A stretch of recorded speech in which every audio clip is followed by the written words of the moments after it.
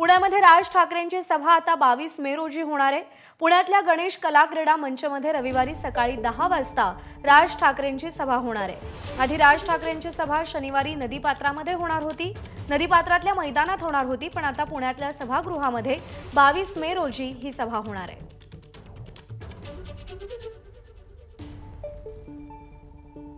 दरम्यान या सभेसंदर्भात मनसेचे नेते बाळा नांदगावकर यांनी काय म्हटलंय आपण पाहूया. मनसे अध्यक्ष राज ठाकरे यांच्या एकवीस तारखेला पुण्या इथं होणाऱ्या सभेसंदर्भात संभ्रम होतं. त्याबद्दल आता काही वेळापूर्वीच राज ठाकरे यांनी पक्षाचे नेते बाळा नांदगावकर यांच्याशी आता बैठक घेतली आणि आता निर्णय झालेला आहे. निर्णय काय त्यांच्याकडनं जाणून घेऊयात. की साहेब काय निर्णय झाला? एकवीसलाच सभा होणार आहे कारण चर्चा आहे की बावीसला सभा होणार आहे एकवीस तारखेला खरं पाहता साहेबांची सभा पुण्याला नदी पात पात्र पुण्याचं त्या ठिकाणी व्हायचं आणि घ्यायचं निर्णय झाला होता. आणि त्याप्रमाणे आमच्या लोकांनी पूर्णपणे तयारी केली होती परमिशनपासून सगळ्या. किंबहुना राज्य सरकारने परमिशन देण्याची तयारी केली होती. परंतु एकंदरीत जे तुम्ही जर हवामान तज्ज्ञाचा काय जो काय अंदाज आलेला आहे तो पाहिल्यानंतर तुमच्या लक्षात येईल की पावसाळा कोणत्याही क्षणाला सुरू होऊ शकतो अशा प्रकारची. आणि मग साहेबांनी विचार केला की जर अशा पावसाळा जर अचानक सुरू झाला गरज असताना लोकांना त्रास होईल आणि हजारो लाखो लोक त्या ठिकाणी हजारोच्या संख्येने लोक येतील आणि गरज असताना लोकांना मग भिजायला वगैरे लागेल. आणि म्हणून मग साहेबांनी असा निर्णय केला की आपण नदी पात्राची सभा घ्यायची. कारण आम्ही एस पी कॉलेज मागत होतो. बरोबर. एस पी कॉलेजची काहीतरी कोर्ट केसेस वगैरे असल्यामुळे थोडासा गोंधळ झालेला आहे. मग आम्ही नदी पात्राचा निर्णय केला होता.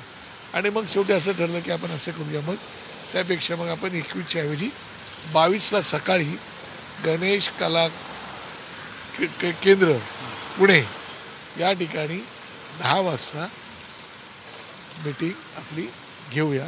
अशा प्रकारचा निर्णय आत्ता जस्ट साहेबांनी घेतलेला आहे. आणि त्याप्रमाणे आता मी तुमच्याशी बोलतो. मोठी सभा आयोजित करण्याचा आपला प्रयत्न होता. मात्र आता तीन साडेतीन हजारच लोक तिथं येऊ शकतील. कारण इंडोर आहे ते. पावसाच्याला पाहता तुम्ही तर इंडोर स्टेडियम किंवा तो इंडोर जागा तुम्ही घेतलेली आहे.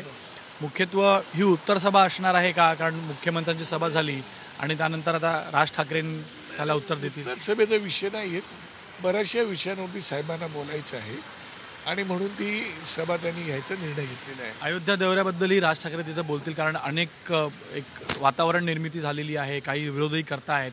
तर त्या विषयावरती राज ठाकरे बावीसच्या सभेला जे आहे मार्गदर्शन करतील. आपली भूमिका स्पष्ट निश्चितपणे- त्यांच्या भाषणामध्ये तो उल्लेख असेल. त्याविषयी ते निश्चितपणे बोलतील अशी माझी खात्री आहे. आणि त्यावेळेला तुम्हाला सविस्तर माहिती मिळेलच.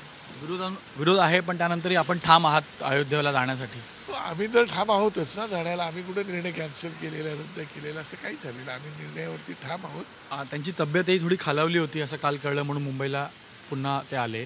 आता काय कशी परिस्थिती? खरं आहे त्यांच्या थोडंसं ते मागच्या वर्षी झालेलं ते. पायाचं इंजुरी आहे ती थोडीशी आणखी त्यांना त्रास द्यायला लागलेली आहे. त्याच्यावरती काय निर्णय घ्यायचा तो करतील. तिकडे जाऊन राज ठाकरे अनेक अशा मुद्द्यांना हात लावणार आहेत जे सर्वसामान्य नागरिकांशी निगडीत आहेत आणि यामुळं बावीसची सभा खूप महत्त्वाची होणार आहे. कॅमेरामॅन अजित शिवतरकरसह गणेश ठाकूर एबीपी माझा मुंबई. एबीपी माझा उघडा डोळे बघा नीट.